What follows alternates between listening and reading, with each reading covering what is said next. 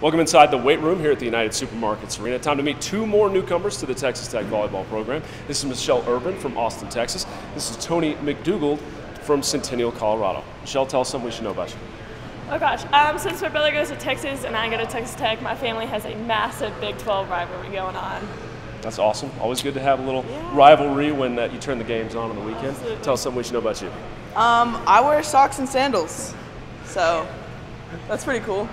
And you're from Colorado and you like snow cones too, right? Yeah, um, I love it here because we go snow cones like every night. You could have made your own in Colorado, but tell me what it's like, Toni.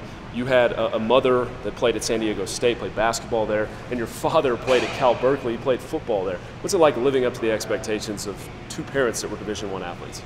Well, I'm just kind of here to make them proud. I like want to live up to their legacy, so I'm excited, ready for the season. Very good, Michelle. Tell me the same thing. You had a brother that's at Texas running track. Yeah. Your mom played tennis at Maryland, and your grandfather played football at Maryland. You got a little bit more than she does in the lineage.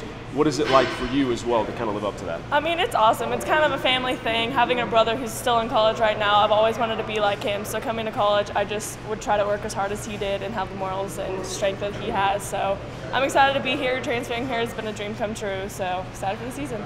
Awesome. Tell me something. Uh, you guys live together. Give me, give me a little dirt. Give me something fun that we should know about Toni. All right, Toni is a Colorado fanatic. First of all, she wears Colorado flag wherever she goes, even in public, in Walmart. And then secondly, because she's from Colorado, she knew nothing about Texas Tech when she got here. Didn't know who Cliff Kingsbury was. Now she does, so that's pretty cool on her part. That's a good person to know here at the university. He's pretty cool. She got you good. Pretty cool guy. Get her back. Um, Michelle never takes out the trash in our room. It's like in the bathroom, it'll stack up right as high as it goes, you know? It's not the trash can. But it's fine. All right, uh, cleanliness, maybe maybe a little bit dirty. This is Michelle Irvin. This is Toni McDougald. They're two newcomers, but we're in the weight room. I need to get my lift in, so they're going to spot me. Let's go. Let's get back to work. Let's make it happen. Oh, dang. Gains.